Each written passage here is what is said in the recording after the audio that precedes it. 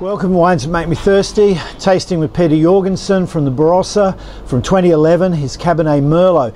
The intriguing part about 2011 is that it's good in places and not so good in others. What I've got here is a good, fresh, medium bodied, fruit friendly style of Cabernet Merlot that is not typical of the vintage. It's a wine that typifies Australia's ability to make friendly, drinkable wines that are, have plenty of youthful presence and that's exactly what this wine is.